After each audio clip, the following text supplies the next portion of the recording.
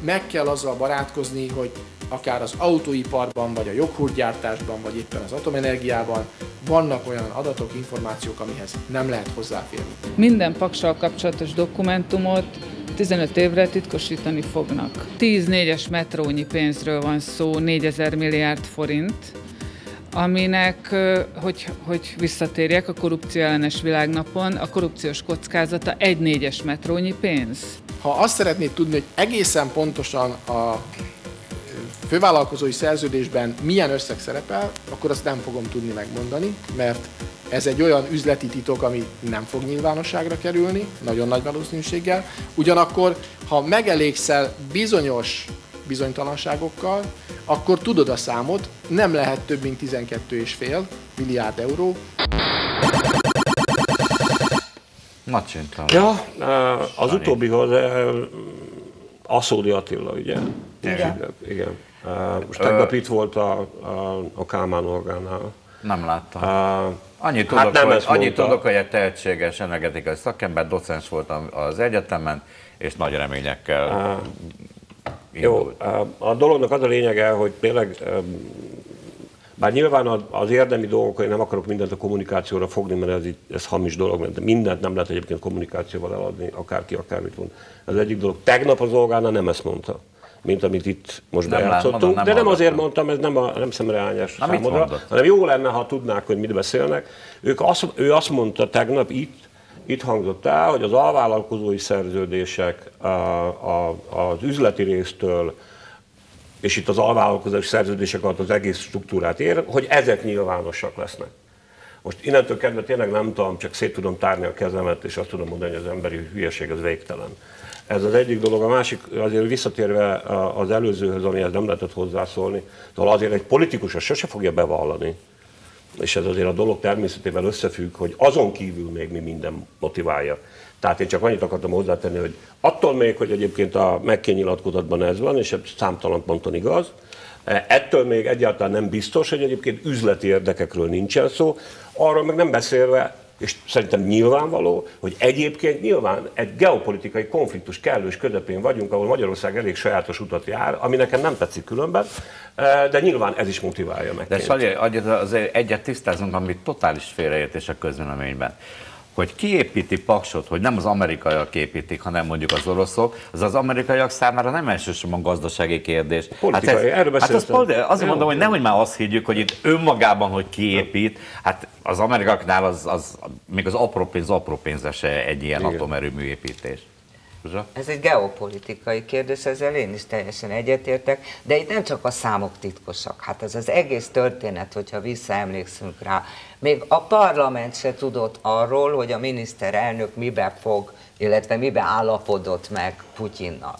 Na most az, hogy mi egy olyan helyen vagyunk, vagy egy olyan helyzetben, bocsánat, olyan helyzetben vagyunk, hogy tagjai vagyunk a NATO-nak, és ugyanakkor az oroszokkal paktál le, és itt nem a gazdasági része szerintem, ami a legfontosabb, az, az egyszerűen egy olyan alapvető bizalmatlanságot eredményez.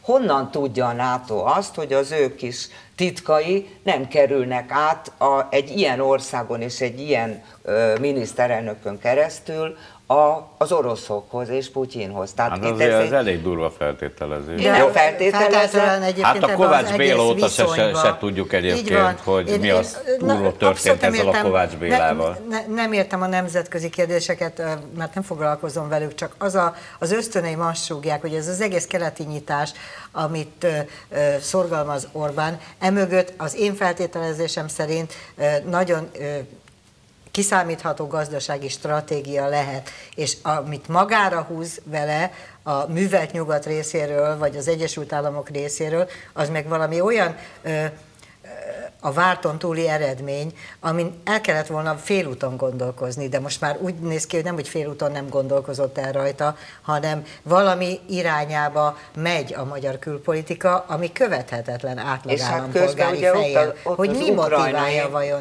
Azon kívül, hogy megegyezett, valószínűleg mindenféle megegyezések vannak a háttérben, valami magyarországi egyensúly, vagy valami hatalomfenntartó egyensúly érdekében. Ez a kulcsa a dolognak, hogy az a szövetségi rendszer, amihez mi tartozunk, a NATO és az Európai Unió súlyos konfliktusban van most Oroszországgal. És nagyjából a történetnek ez a lényege.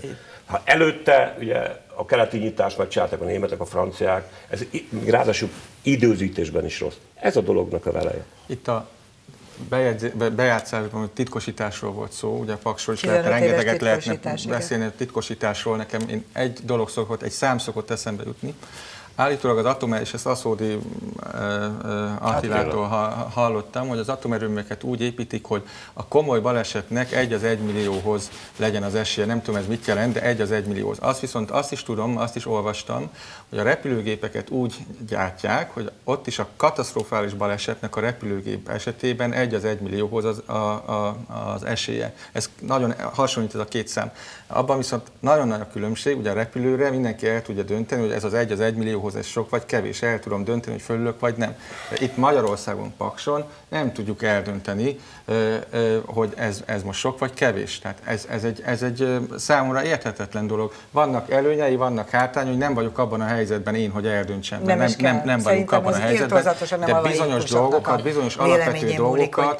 kellene, hogy tudjunk, és sajnos úgy érezzük, hogy a döntéshozók sem tudnak bizonyos nagyon fontos adatokat, legalábbis az MNP politikusai hiába kérnek alapvető adatokat, nem kapnak hatástanulmányokat. És ha nem tudjuk eldönteni, hogy föl, fölülünk arra a repülőre, vagy nem ülünk föl, vagy mi alapján, ez elég baj. Én Bős Nagymarossal foglalkoztam rengeteget, annak egy könyvet is írtam, mindenkivel beszéltem, fogalmat nem volt a végén az egészről. Annyira bonyolult, átláthatatlan, a természeti szépségektől. De figyelj, nem az a képviseleti demokrácia lényege, hogyha te bízhatsz egy igen, állam a, működésében, igen. hogyha normálisan megy ez az egész igen, igen, bájzli, igen, igen, akkor nem kell Erről se neked, se nekem, se igen, az Attilának. Igen. De hogyha én ránézek erre a mai országgyűlésre, nem a képviseleti demokrácia rengeteg előnye jut eszembe. Miért nem? Miért nem? nem is tudom. Hát miért nem? Te is egy atavizmus vagy, és ezer éves.